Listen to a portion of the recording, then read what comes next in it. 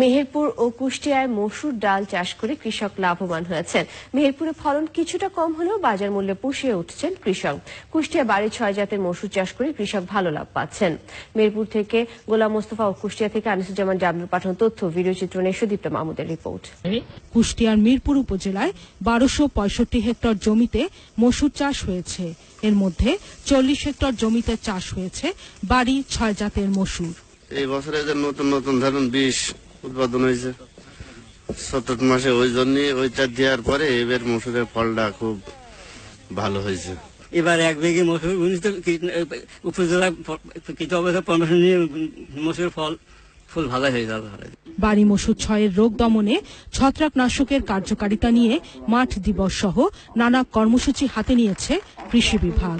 ফিজিডিয়াম wilt হওয়ার পরে আমরা এখানে ডিকোপ্রাইমা একটা আমাদের বায়ো ফাঞ্জিসাইড আমরা স্প্রে করি।